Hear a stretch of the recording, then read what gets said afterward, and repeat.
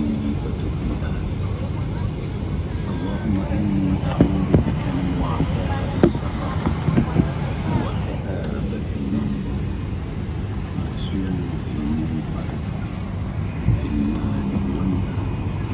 حضرات الضيوف الكرام أهلا بكم على متن طائرة الخطوط الجوية.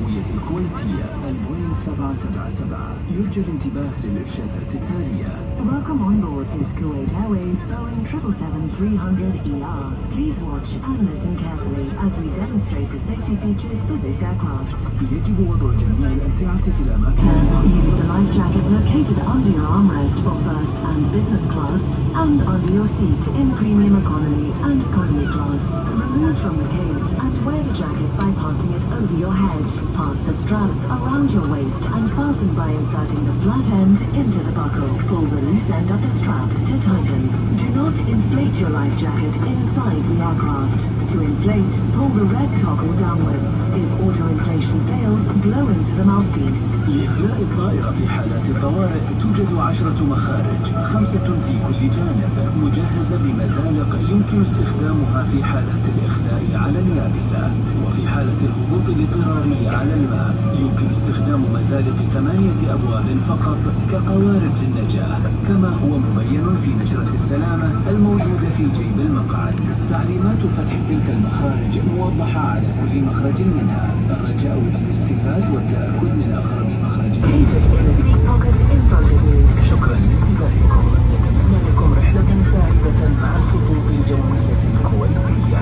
Thank you for your attention. We wish you a pleasant and enjoyable flight with Kuwait Airways.